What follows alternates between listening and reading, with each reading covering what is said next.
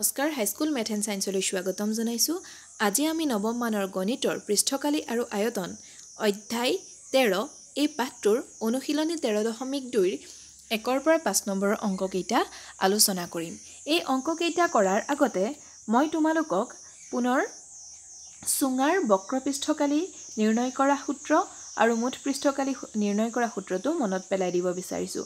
চুঙাৰ বক্ৰপৃষ্ঠকালী হৈছে two pi r H আৰু মুঠ পৃষ্ঠকালী হৈছে two pi r into r plus h. এই সূত্ৰকেইটা কেনেকৈ নিৰ্ণয় কৰিছিলোঁ মই তোমালোকৰ আগতে এটা ভিডিঅ' দিছোঁ। যদি কোনোবাই এই ভিডিঅ'টো চোৱা নাই তেনেহ'লে আমাৰ চেনেলত গৈ এই ভিডিঅ'টো চাই ল'ব পাৰিবা। এতিয়া অংককেইটালৈ যাওঁ। প্ৰথমটো অংক চৈধ্য চেণ্টিমিটাৰ উচ্চতাৰ লম্ব বৃত্তাকাৰ চুঙা এটাৰ বক্ৰপৃষ্ঠকালী এইট্টি এইট বৰ্গ চেণ্টিমিটাৰ চুঙাটোৰ ভূমিৰ ব্যাস নিৰ্ণয় কৰা। এতিয়া দিয়া আছে চুঙাটোৰ উচ্চতা আৰু বক্ৰপৃষ্ঠকালী। মানে এইচ দিয়া আছে আৰু টু পাই আৰ এইচ সমান কিমান দিয়া আছে। আমি ভূমিব্যাস উলিয়াব লাগে। ভূমিব্যাস মানে ব্যাসাৰ্ধৰ দুগুণ অৰ্থাৎ আমি টু আৰ বুলি ক'ব পাৰোঁ। আৰ যদি ব্যাসাৰ্ধ হয় তেন্তে প্ৰশ্নটো কেনেকৈ কৰিম চোৱা? চুঙাটোৰ উচ্চতা কিমান লিখি লৈছোঁ? বক্ৰপৃষ্ঠকালী লিখি লৈছোঁ। এতিয়া প্ৰশ্নমতে কি কৈ আছে? চুঙাটোৰ বক্ৰপৃষ্ঠকালী সমান এইটি এইট চেণ্টিমিটাৰ স্কুৱেৰ বক্ৰপৃষ্ঠকালী উলিওৱা সূত্ৰটো হৈছে টু পাই আৰ এইচ গতিকে লিখিছোঁ টু পাই আৰ এইচ সমান এইট্টি এইট চেণ্টিমিটাৰ স্কুৱেৰ ইয়াত পাইৰ মান আমি লিখিম টুৱেণ্টি টু বাই ছেভেন এইচৰ মান লিখিছোঁ যিহেতু টু ইনটু আৰ কৰিলে আমি ভূমি ব্যাস পাওঁ। মানে দুই পূৰণ ব্যাসাৰ্ধ কৰিলে ভূমি ব্যাস পাওঁ গতিকে এইটো টু আৰটো আমি বেলেগে ৰাখিলোঁ। আমি এই অংকখিনি এই অংশটো কৰিলে পাম টু আৰ সমান eighty eight by eighty eight centimetre. গতিকে ভূমি ব্যাস ওলাব এক চেণ্টিমিটাৰ। ইয়াত কি হৈছে? সাতৰে চৈধ্যক কটাকটি যায় আমাৰ দুবাৰ যাব কটাকটি কৰিছোঁ ইয়াত। ইয়াত থাকি গ'ল কিমান? Two r into eighty eight centimetre আছিলে এইট্টি এইটটো ইফালে নিহৰণ কৰিছোঁ গতিকে টু আৰ সমান হ'ব eighty eight by eighty eight centimetre. এতিয়া পিছৰ অংকটো চাওঁ। পিছৰ অংকটোত দিয়া আছে এখন ধাতুৰ পাত্ৰৰ পৰা এক মিটাৰ উচ্চতাৰ আৰু ভূমিব্যাস এশ চল্লিছ চেণ্টিমিটাৰ হোৱাকৈ এটা বন্ধ চুঙাকৃতিৰ টেংকী তৈয়াৰ কৰিব লাগে। ইয়াৰ বাবে কিমান বৰ্গ মিটাৰ ধাতু পাত লাগিব? এতিয়া যেতিয়াই তোমালোকক বন্ধ চুঙা বুলি কোৱা হয় তেতিয়াই তোমালোকে জানি ল'বা যে আমি সদায় মুঠ পৃষ্ঠকালী নিৰ্ণয় কৰিব লাগে। ইয়াত বক্ৰ পৃষ্ঠকালীৰ কথা নাহে।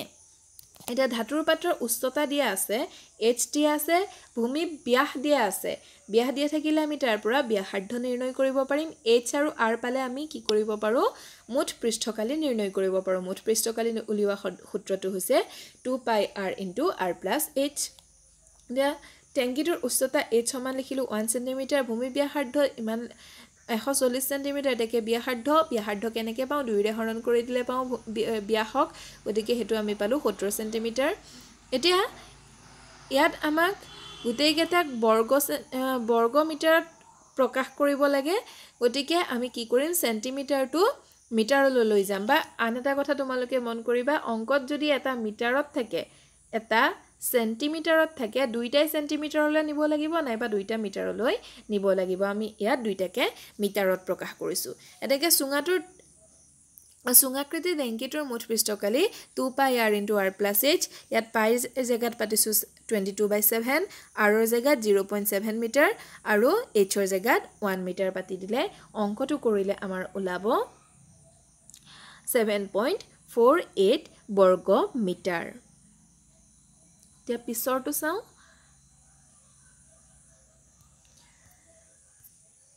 তিনি নম্বৰ অংকটো আছে ধাতুৰ পাইপ এডালৰ দিশ ছেভেণ্টি ছেভেন চেণ্টিমিটাৰ ইয়াৰ কোনো এটা এক প্ৰস্থছেদৰ অন্তব্যাস চাৰি চেণ্টিমিটাৰ আৰু বহিব্যাস চাৰি দশমিক চাৰি চেণ্টিমিটাৰ এতিয়া তলৰ কথাকেইটা নিৰ্ণয় কৰা ভিতৰৰ বক্ৰপৃষ্ঠৰকালি বাহিৰৰ বক্ৰপৃষ্ঠৰকালি আৰু তিনি নম্বৰত মুঠ পৃষ্ঠকালি নিৰ্ণয় কৰিব লাগে। এতিয়া চুঙাটোত কেনেকুৱা কিছু পৰিমাণৰ ডাঠ চুঙা সেইকাৰণে আমি ভিতৰৰ এটা ব্যাসাৰ্ধ পাইছোঁ বা অন্তঃব্যাস ব্যাস পাইছোঁ আৰু বাহিৰৰ একটা ব্যাস পাইছোঁ।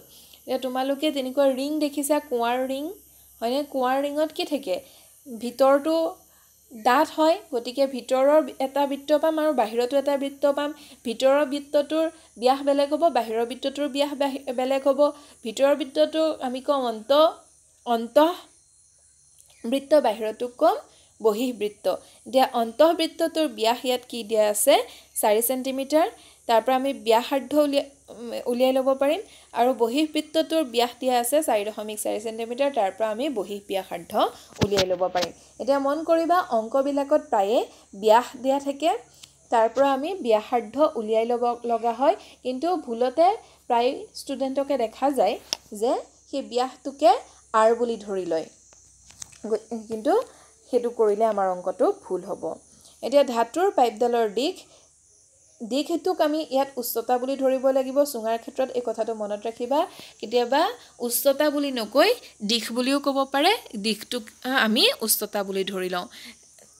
এইচ সমান দিয়া আছে ছেভেণ্টি ছেভেন চেণ্টিমিটাৰ অন্তব্যাস চাৰি চেণ্টিমিটাৰ গতিকে ব্যাসাৰ্ধ দুই চেণ্টিমিটাৰ হ'ব। বহিব্যাস দিয়া আছে চাৰি দশমিক চাৰি চেণ্টিমিটাৰ গতিকে ব্যাসাৰ্ধ হ'ব দুই দশমিক দুই চেণ্টিমিটাৰ। এতিয়া ভিতৰৰ বক্ৰপৃষ্ঠকালি উলিওৱা নিয়ম একে ভিতৰৰ হওক যিয়ে নহওক বাহিৰৰে হওক চুঙাৰ বক্ৰপৃষ্ঠৰ কালি উলিওৱা নিয়মটো হৈছে টু পাই আৰ এইচ গতিকে এই ফৰ্মুলাটোত আমি যেতিয়া মানবিলাক পাতি যাম আৰৰ মান এইচৰ মান অংক কৰিলে আমি পাম nine sixty eight centimetre square আৰু এটা কথা মনত ৰাখিবা যেতিয়াই আমি পৃষ্ঠকালি উলিয়াম বক্ৰপৃষ্ঠকালিয়ে হওক বা মুঠ পৃষ্ঠকালিয়েই হওক তেতিয়াহ'লে কিন্তু এককটো বৰ্গ চেণ্টিমিটাৰ স্কুৱেৰ ওলাব বা বৰ্গ বৰ্গ চেণ্টিমিটাৰ ওলাব নাইবা বৰ্গ মিটাৰ ওলাব বা তেনেধৰণৰে বৰ্গ মিলিমিটাৰ ওলাব পাৰে যাক আমি মিলিমিটাৰ স্কুৱেৰ বুলিও ক'ব পাৰোঁ এনেধৰণৰে উত্তৰকেইটা ওলাব। এতিয়া বাহিৰৰ বক্ৰপৃষ্ঠকালি উলিওৱা একে নিয়ম টু পাই আৰ এইচ ইয়াত খালি আমি আৰৰ জেগাত কি ব্যৱহাৰ কৰিব লাগিব? বহি ব্যাসাৰ্ধ ব্যৱহাৰ কৰিব লাগিব যিটোৰ মান টু পইণ্ট টু আছিল। গতিকে ইয়াত মানটো পাতি দিলে আমি এই অংকটো কৰিলে ওলাব one zero' six four point eight centimetre square এক হাজাৰ চৌষষ্ঠি দশমিক আঠ চেণ্টিমিটাৰ স্কুৱেৰ বা বৰ্গ চেণ্টিমিটাৰ তিনি নম্বৰ অংকটো চোৱা তিনি আমাৰ তিনি নম্বৰ অংকটোত পাইপডালৰ মুঠ পৃষ্ঠকালি উলিয়াবলৈ দিছিলে। পাইপডালৰ মুঠ পৃষ্ঠকালি হ'লে প্ৰথমতে কি উলিয়াব লাগিব? ভিতৰৰ বক্ৰপৃষ্ঠকালিখন আৰু বাহিৰৰ বক্ৰপৃষ্ঠকালিখন। যিহেতু পাইপডালৰ ঢাকনি নাই আৰু পাইপডাল কিছু ডাঠ গতিকে আমি দুই অং মূৰতে আমি কি পাম? এনেকুৱা এটা ৰিং নাপামনে? হয়নে? এতিয়া এই ৰিংটোৰ কালিও তাত যোগ হ'ব লাগিব। এতিয়া ৰু ৰিংটোৰ কালি যোগ কৰিবলৈ ৰিং কালি ৰিঙৰ কালি উলিওৱা নিয়মটো চোৱা। এটা ৰিঙৰ কালি উলিওৱা নিয়মটো হৈছে pi into r square minus r square. চুঙাটোৰ দুই মূৰৰ পৰাই তেনেকুৱা এটা ৰিং পাম আমি। এইফালে এইটো ধৰি লোৱা চুঙা এইটো মূৰত এটা এনেকুৱা ৰিং পাম আনটো মূৰতো এটা ৰিং পাম। দুটা ৰিং আছে গতিকে ইয়াত two pi r square minus r square. আৰটো হৈছে বহিব্যাসাৰ্ধ আৰু এই আৰটো হৈছে অন্তব্যাসাৰ্ধ। এনেধৰণৰে আমি দুই মূৰত থকা চুঙা পাইপডালৰ ৰিঙৰ কালি উলিয়াব পাৰোঁ। গতিকে পাইপৰ মুঠ পৃষ্ঠকালি ভিতৰৰ বক্ৰপৃষ্ঠকালি যোগ বাহিৰৰ বক্ৰপৃষ্ঠকালি আৰু দুই মূৰৰ ভূমিৰ কালি। ভূমিৰ কালি মানে ৰিঙৰ কালি কথা কৈছে। এতিয়া ইয়াত সূত্ৰকেইটাত পাতি দিছোঁ।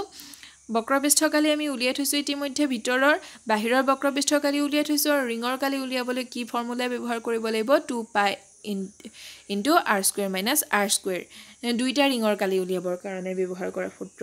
এতিয়া ইয়াত মানবিলাক যেতিয়া আমি পাতি দিম অংকটো কৰিলে আমি কিমান পামগৈ? Two zero' three eight point zero' eight centimetre square দুই হাজাৰ আঠত্ৰিছ দশমিক শূন্য আঠ চেণ্টিমিটাৰ স্কুৱেৰ পাম। চাৰি নম্বৰ অংকটো চোৱা। এইটো আহি থকা প্ৰশ্ন এটা এটা ৰুলাৰৰ ব্যাস চৌৰাশী চেণ্টিমিটাৰ আৰু দিশ এশ বিছ চেণ্টিমিটাৰ। এখন খেলপথাৰ সমান কৰিবলৈ ইয়াৰ ওপৰৰে এবাৰ পাৰ হওঁতে ৰুলাৰটোক পাঁচশ সম্পূৰ্ণ পাকৰ প্ৰয়োজন হয়। খেলপথাৰখনৰ কালি উলিয়াব লাগে। এতিয়া ৰুলাৰ এটা কি আকৃতিৰ হয় বাৰু? তোমালোকে ৰুলাৰ ৰাস্তাই ঘাটে দেখা ৰুলাৰে মাটি সমান কৰে। এটা চুঙাকৃতিৰ নহয়নে বাৰু? এতিয়া চুঙা এটা প্ৰস্তুত কিহৰ পৰা হয়? এটা আয়ত আকৃতিৰ পৰা আমি এটা চুঙা প্ৰস্তুত কৰিব পাৰোঁ। মই তোমালোকক কেনেধৰণেৰে প্ৰস্তুত কৰিব পাৰি চুঙা আগৰ ভিডিঅ'ত দেখুৱাইছিলোঁ। এতিয়া গতিকে চুঙা চুঙাটোৰ বক্ৰপৃষ্ঠকালিখন কি আচলতে? এখন এটা আয়তৰ কালি। ইয়াত কৈ চোৱা চোৱাচোন চুঙাটোৱে যেতিয়া সম্পূৰ্ণ এপাক ঘূৰিব তেতিয়াহ'লে কিমান দূৰত্ব অতিক্ৰম কৰিব? এটা আয়তৰ কালিৰ সমান দূৰত্বই অতিক্ৰম কৰিব।